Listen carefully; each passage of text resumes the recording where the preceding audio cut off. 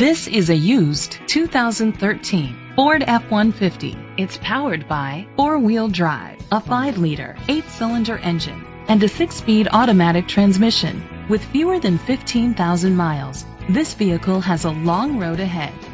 The features include an alarm system, split rear seats, privacy glass, power windows, power steering.